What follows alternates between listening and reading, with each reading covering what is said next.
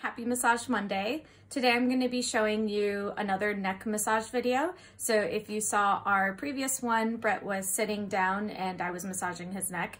But obviously when you're sitting, you're having to hold your head up and utilizing those neck muscles. So this one I will be showing with Brett laying on the bed face up so that his head and his neck are relaxed and you can get in a little bit deeper.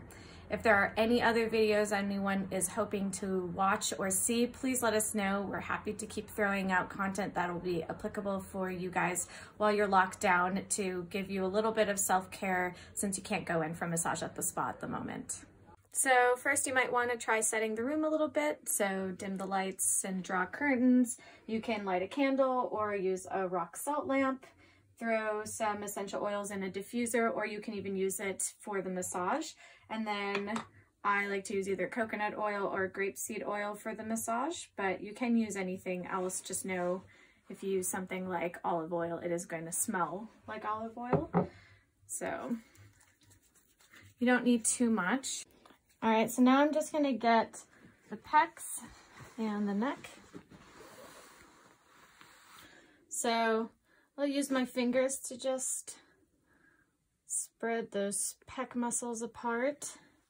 And just know if you are massaging a woman, you know, we, even though we have breasts, we also have pecs. So you just want to be a little bit, you know, above the breast area, but you can still get in. So here we've got his collarbone, so you can get into the areas right over here. So basically, if she has a blanket that's covering her, you'll want to massage the area that's outside the blanket.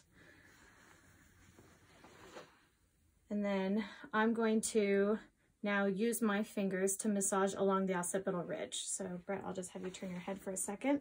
So here for the occipital ridge, we've got your skull right here, and then right when the skull ends and the neck muscles attach, that is called your occipital ridge.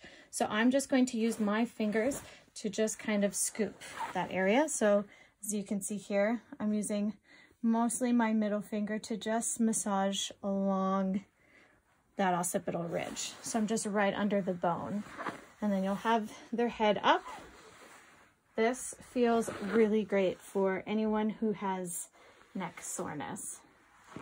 And then, you know, your thumb will obviously be separate, so you can kind of have your thumb massage along a little bit, but most of the pressure is going to be on those fingers that are underneath that occipital ridge.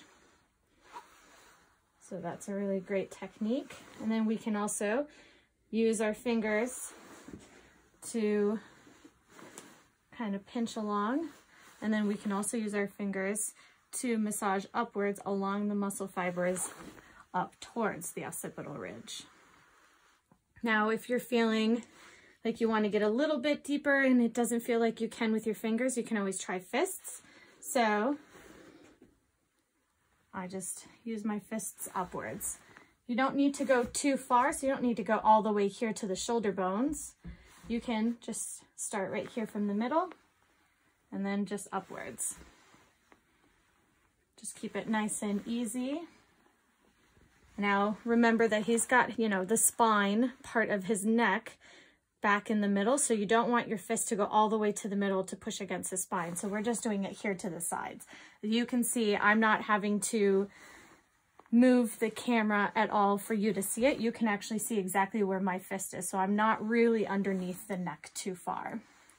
And then if I am going to go under the neck, I'll just use my hands to scoop in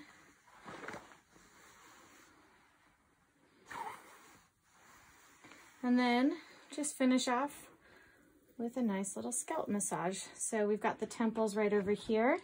So it feels really nice using the thumbs on the temples, but you don't want to do too much pressure.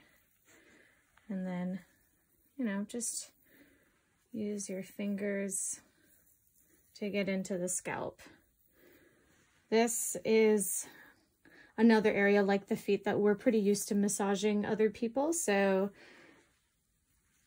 you'll know where to go and what to do. You can do it a little bit like you're shampooing someone's hair.